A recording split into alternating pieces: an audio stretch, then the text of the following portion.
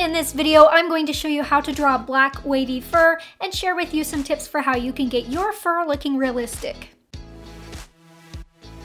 Now, the first thing when it comes to drawing wavy fur in general, not just black wavy fur, is that you need to get yourself in a mindset to try and identify and just look at your drawing and maybe if you're using a reference photo, look at your reference photo in terms of what shapes you're seeing for the three categories of light, which would be the highlights, the midtones, and the shadows. Being able to see your drawing in this way is really going to benefit you through the entire drawing process because essentially what makes uh, wavy fur look realistic is getting that into your mind that what you're seeing is shapes and you need to put in each individual section of different types of shapes. And then when you get them all in there together, the end result is that realistic looking fur.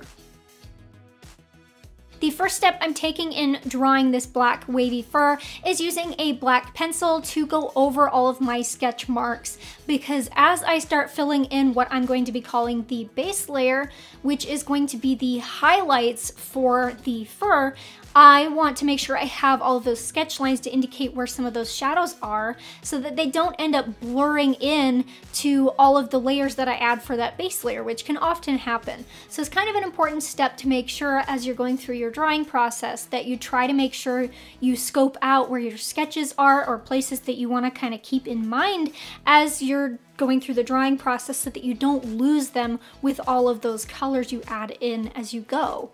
So I'm just adding some layers here of some light ultramarine and some Delft blue to make sure that there's enough of a lighter blue cast to this fur.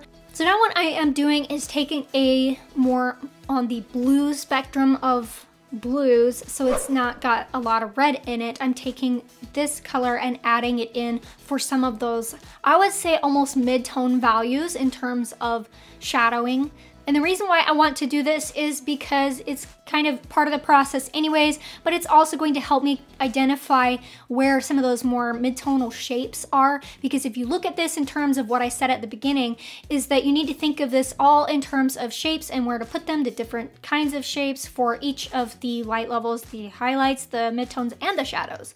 And so these are some of, not all, of the shapes for my midtones. So now I'm going to go ahead and blend all of this out using odorless mineral spirits and a watercolor brush.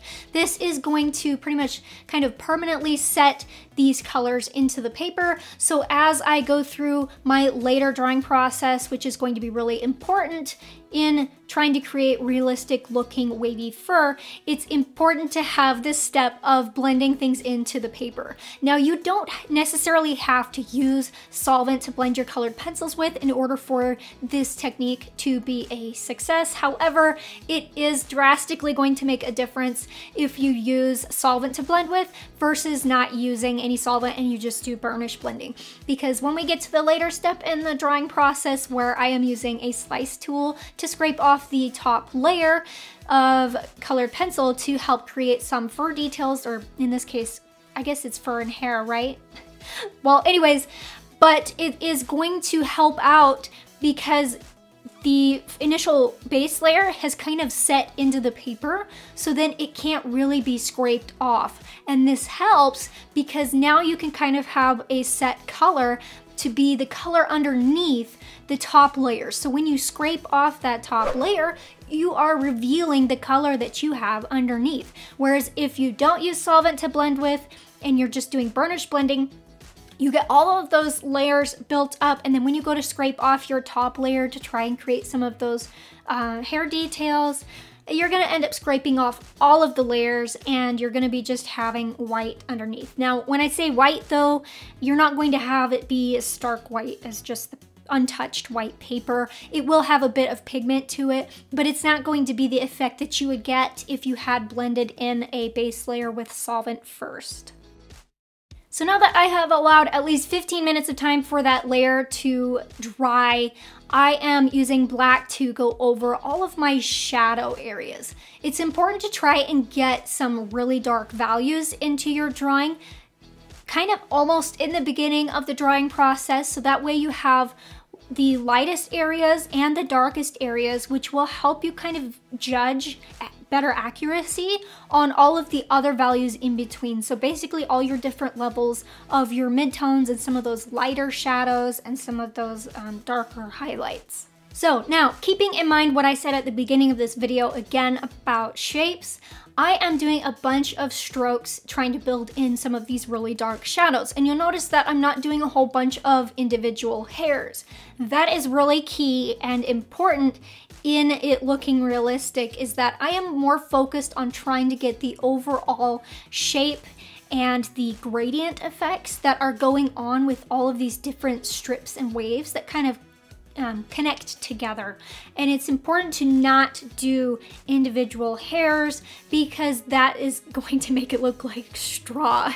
It's not going to look realistic. Really quickly, this is just a sped up version of my real-time fur tutorial over on my Patreon. The real-time version is packed with tips and explanations about a lot more than I do in just this video, giving a more in-depth explanation of the processes going on, and there is two more fur types covered.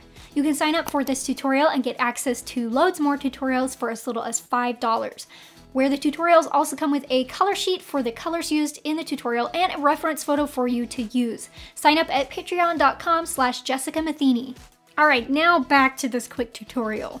You can see that I am just slowly building up some of those shadow values for the fur strips of different shadow shapes.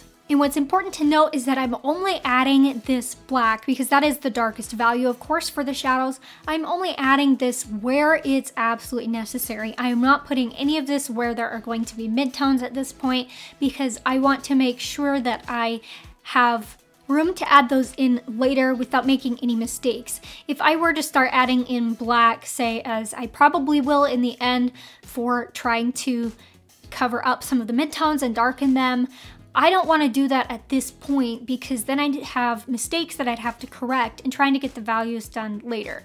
Merely adding the black in at this point is just to help me with those midtones as I draw them in right after this step. So now that I am done adding in the black, of course, the darkest value for the fur, I'm going to start adding in some of those midtones. To do that, I'm going to use a darker cold gray color, and I'm going to start doing kind of like I did with the black, just trying to focus on drawing overall gradient types of shapes so my first initial attempt with this is to put it down where I'm seeing those midtone values at to kind of get them a little darker. Then I'll go back over a lot of those areas to add more and kind of darken more of those midtone values in the areas that need it to be darker than that first initial layer that I added.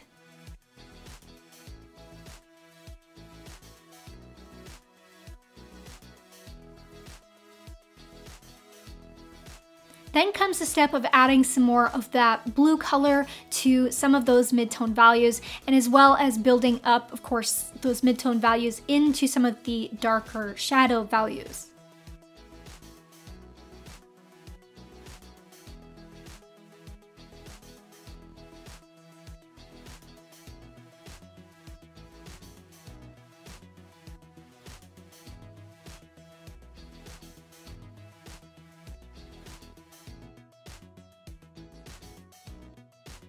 Now what I'm doing is taking a lighter gray color and adding this over the top of a lot of those areas where I have highlights, of course, and then some of the areas of the midtones. This is to kind of blend some of that together by burnishing, as well as I'm also taking down some of those highlighted values. So maybe my highlights weren't quite as dark as they needed to be, which is a good thing.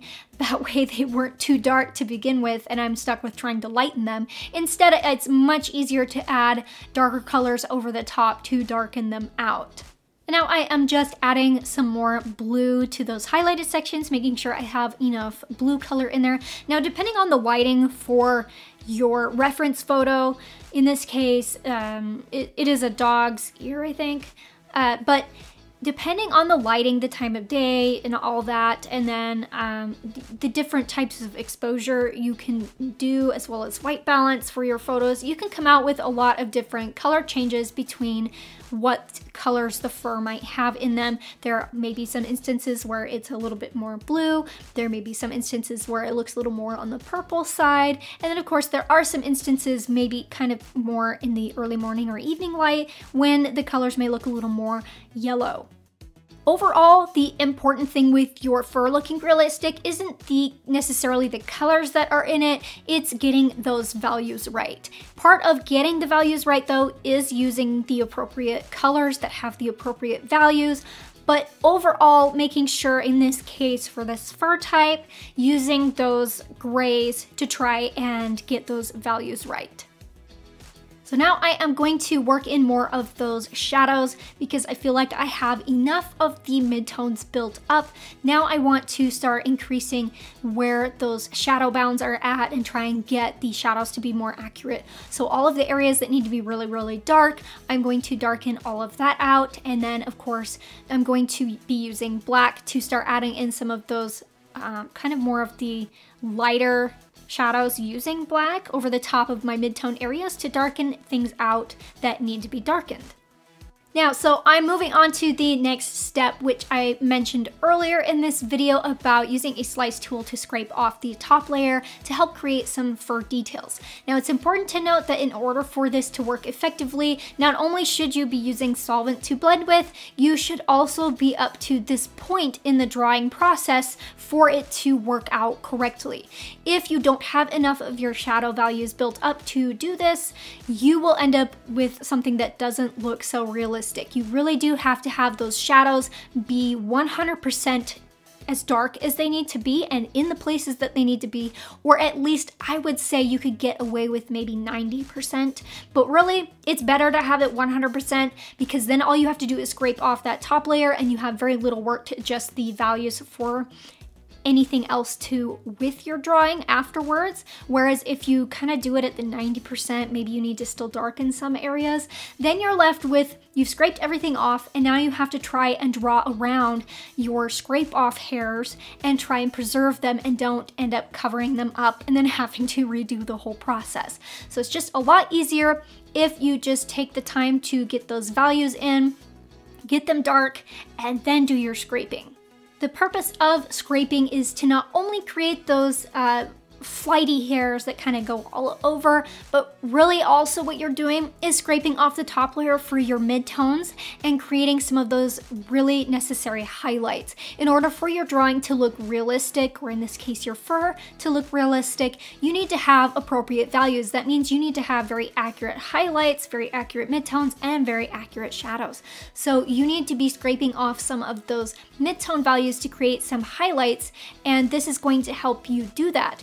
And the bonus to this is it's also going to be like you're drawing actual hairs. So it's going to give you a realistic look in some of those strippy kind of multi I wouldn't say individual hair marks, but some of it will kind of look that way, which will give you a realistic result.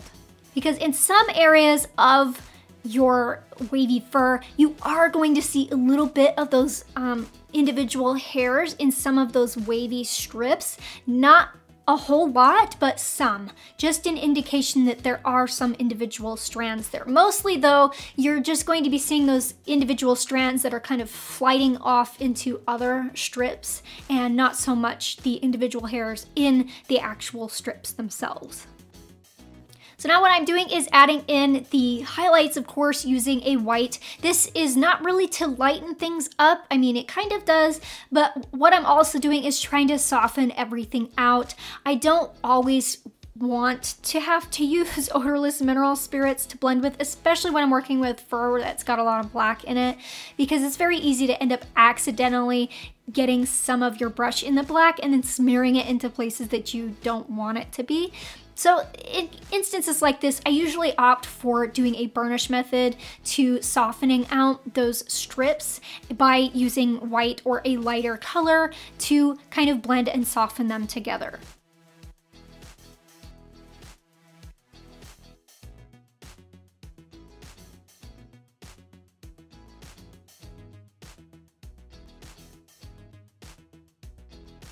And now I am just using one of my darker gray colors to adjust those mid-tone values and make sure that I have enough a buildup of some of those kind of shifting gradients between all of the different strips that are overlapping each other.